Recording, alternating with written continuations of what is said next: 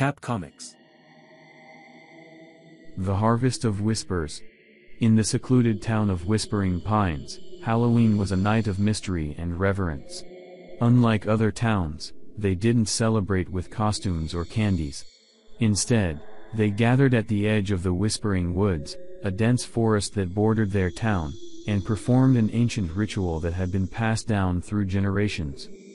Every year, as the harvest moon cast an eerie glow over the forest, the townsfolk would light candles and chant incantations. It was said to be a tribute to the spirits that resided in the woods, a way to ensure a bountiful harvest for the year to come. This Halloween, as the townsfolk gathered in the flickering candlelight, a sense of anticipation hung in the air. The ritual began, the chanting growing louder and more fervent. Unbeknownst to them, their incantations had awakened something ancient, something hungry. As the last words of the ritual echoed through the forest, a deep, rumbling growl reverberated through the trees. The ground beneath them trembled, and shadows danced wildly, taking on grotesque forms.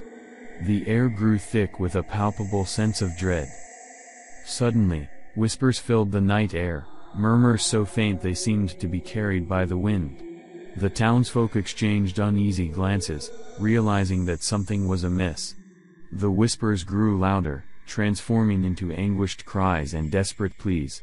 Panic seized the crowd as they realized the truth, they had awakened a malevolent force, one that hungered for their souls. The forest came alive with movement, the trees contorting into unnatural shapes, their branches resembling gnarled claws. Eyes, glowing with a sickly green light, appeared in the darkness. The townsfolk, now terrified, tried to flee, but an invisible barrier surrounded them, trapping them within the circle of candles.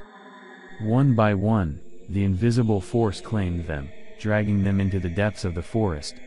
Their screams mixed with the cacophony of whispers, creating a chilling symphony of horror.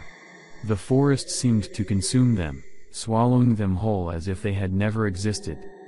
In the end, only one person remained, a young girl named Elara, her eyes wide with terror.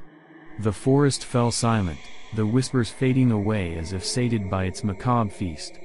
Elara, trembling with fear, managed to break free from the invisible barrier. She fled from the forest, her heart pounding in her chest. The next morning, the sun rose over Whispering Pines, casting a warm, golden light over the town. But the woods remained dark and foreboding a grim reminder of the horrors that had occurred the previous night. From that day on, the town of Whispering Pines was never the same. The ritual was abandoned, and the Whispering Woods became a place of dread, its secrets buried beneath centuries of silence.